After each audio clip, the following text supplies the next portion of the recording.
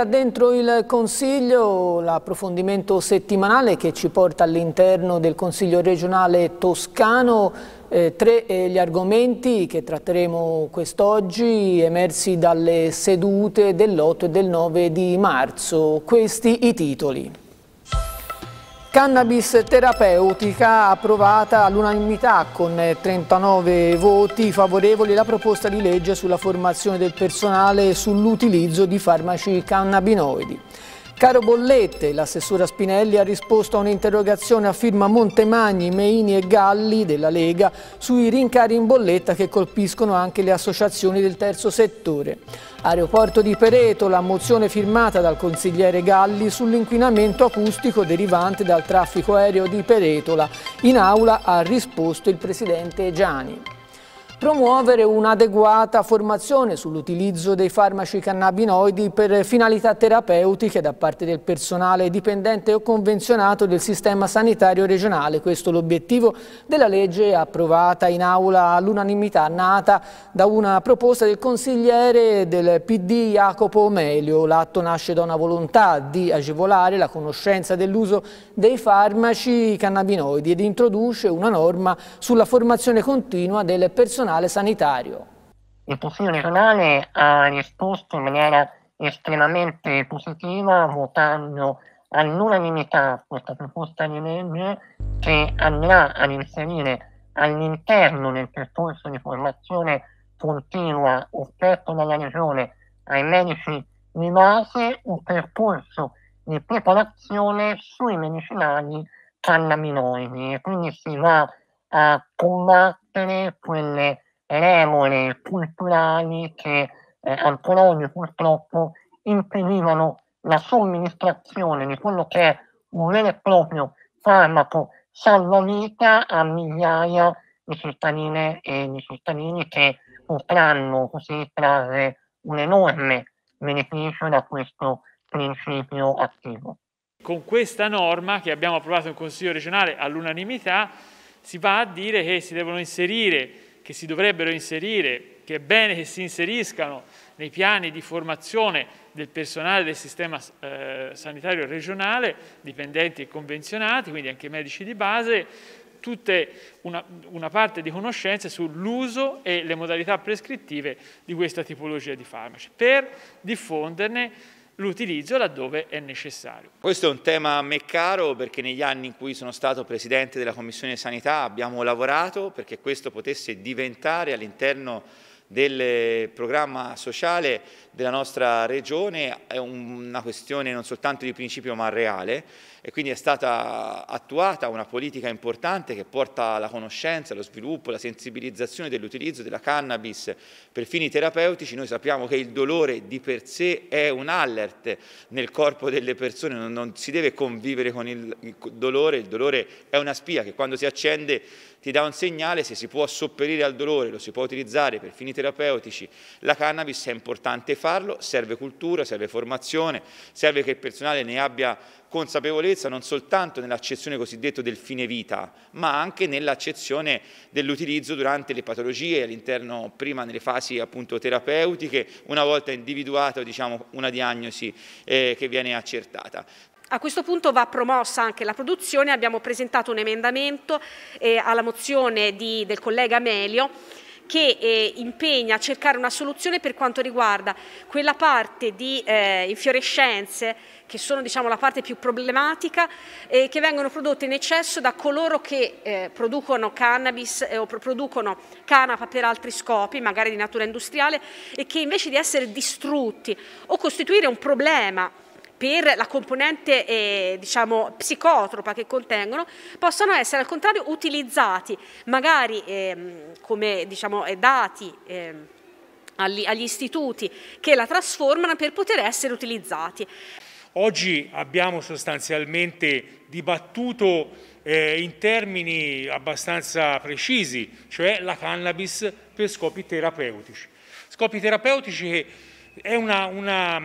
una, parte che molto spesso adesso non viene utilizzata per eh, una certa titubanza, per una certa sorta di mancanza di cultura, di cultura eh, medica riguardo a questo presidio. Invece purtroppo eh, ce n'è bisogno in quanto ovviamente la cannabis può essere utilizzata in quelle forme di SLA, in quelle forme di, di cure palliative che molto spesso aiutano persone che soffrono veramente molto.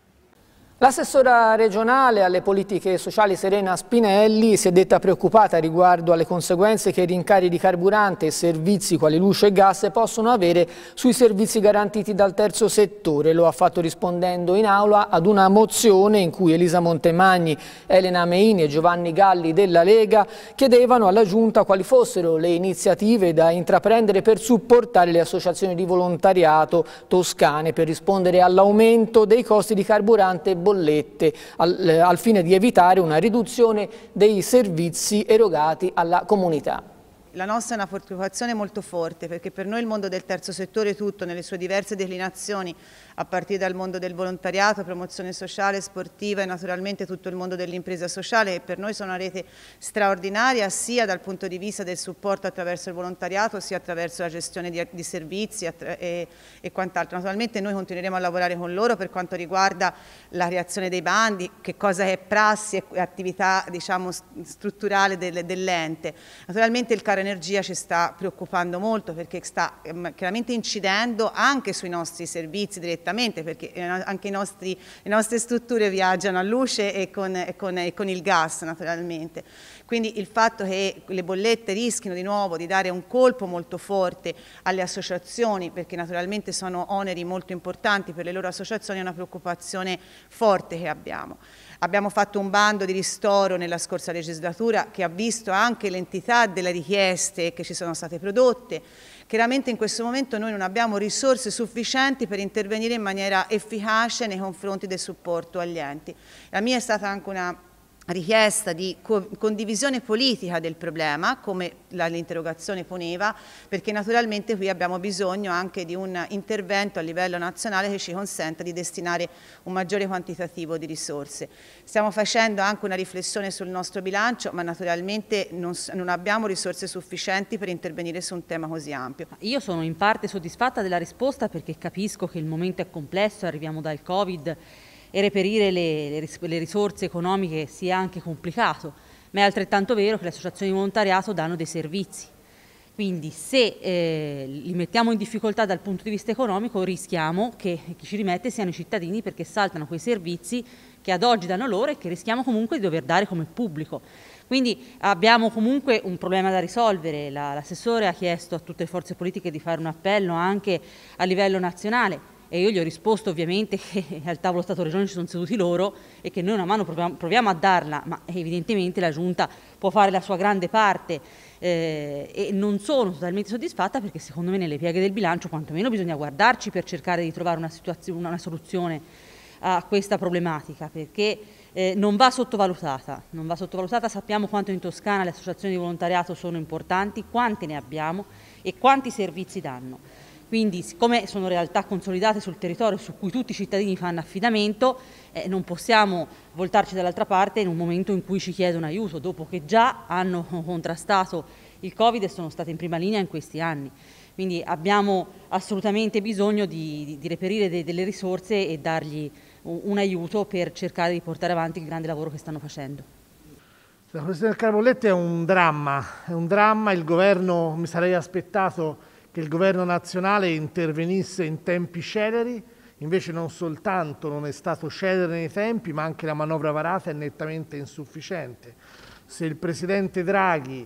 eh, pensasse meno alla riforma del catasto e più a venire incontro agli italiani, magari, magari rivedendo le aliquote IVA, magari rivedendo le tasse, in un momento come questo secondo me farebbe molto più un servizio alla nazione la, la priorità del governo è la riforma del catasto, a me sembra un insulto che in questo momento storico, quando gli italiani vedono raddoppiare, perché si tratta nella migliore delle ipotesi di un raddoppio, le proprie bollette, delle bollette delle proprie utenze, sentire e vedere che il governo nazionale si sta preoccupando della riforma del catasto, mi sembra una doppia beffa. Ecco. Interventi urgenti di Toscana Aeroporti per eliminare l'inquinamento acustico a Brozzi, Peretola e Quaracchi. Li ha chiesti con una mozione il consigliere della Lega Giovanni Galli. Dopo un lungo dibattito il documento è stato ritirato per approdare in commissione su proposta del presidente della regione Eugenio Giani che ha deciso di approfondirne i vari punti. Il dibattito stamani partiva da una mozione eh, dell'opposizione, Giovanni Galli era il proponente, eh, sull'inquinamento acustico e atmosferico provocato dall'aeroporto a Peretola, ma io ho potuto rispondere che tutto questo eh, può esserci nel momento in cui la pista rimane così com'è, perpendicolare, con eh, eh, naturalmente Mantignano, Ugnano, Brozzi, Peretola, Quaracchi, che sono toccati da un cono di volo che coinvolge 50.000 persone andare invece nella direzione dell'ipotesi progettuale che ho voluto eh, fosse esaminata da ENAC, che porta a una pista eh, non parallela, come era stata ipotizzata, ma declinata eh, e quindi moderatamente collocata in modo obliquo rispetto all'autostrada, porta il cono di volo a evitare da un lato Prato, come nel primo progetto veniva considerato, a limitare l'impatto su Sesto Fiorentino, a prevedere un cono di volo che va eh, da un lato su aree naturali eh, con bassissimi insediamenti abitativi, dall'altro su quello che è allo stato attuale eh, diciamo, quell'avvallamento determinato dalla collinetta della ex discarica di Case Passerini. Il punto è che la richiesta che io a nome del gruppo del Partito Democratico ho fatto in aula al collega Galli di un rinvio perché oggettivamente non eh, volevamo votare contro questo atto, ma trovare le condizioni con un rinvio che consentissero a noi e al Presidente Gianni, come poi ha fatto un intervento in aula che è seguito in parte, di eh, dire, motivare il fatto che quello che è chiesto nella mozione si può ottenere solo con la realizzazione della nuova pista. E siccome rispetto al dibattito in corso e alle scelte fatte ad ottobre dello scorso anno dal Consiglio a maggioranza eh, riguardo alla nuova pista, ci sono delle novità sostanziali che sono oggetto del dibattito quotidiano, che possiamo leggere sulla stampa, nei mass media, nei dibattiti televisivi a livello anche locale, che portano a dire che il progetto e l'ipotesi di una pista di 2200 metri rispetto ai 1650 attuali, moderatamente o leggermente obliqua, possa consentire di sviluppare il sistema aeroportuale toscano con l'ampliamento appunto della pista di Peretola e quindi una maggiore fruibilità per i passeggeri, per le persone, al tempo stesso si